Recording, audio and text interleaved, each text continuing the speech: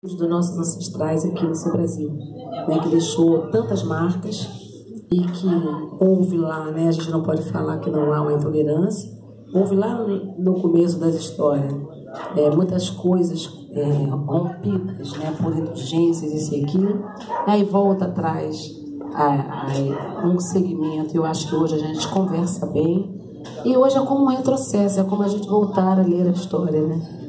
É uma perseguição desenfreada, é a religião à frente do Estado, e nós estamos aqui enquanto religiosos.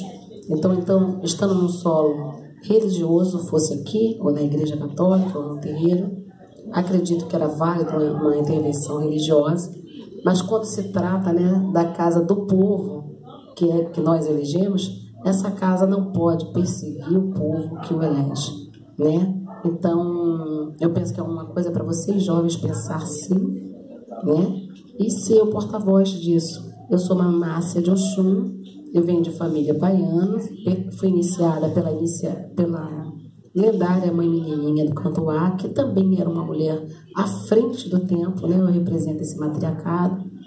Estou aqui em São Gonçalo desde os quando eu me iniciei, eu já morava em São Gonçalo, porque minha mãe migrou para Niterói muito rapidinho e veio para aqui, para São Gonçalo. O terreiro foi fundado aqui no Porto da Pedra. Hoje eu toco a comunidade Sacramento, que o espaço ficou muito pequeno. E lá a gente desenvolve algum trabalho social. E quero dizer da, da minha afinação com essa pauta de que eu comungo que as religiões, em vez de muitas outras coisas que elas estão cuidando, deveriam cuidar dos seres humanos né, do rebanho delas, dá a Deus o que é de Deus, o homem o que é do homem, né? E não dá para ser duas coisas ao mesmo tempo. Então eu queria dizer para vocês amém, axé, shalom, qualquer coisa que represente essa paz, tá?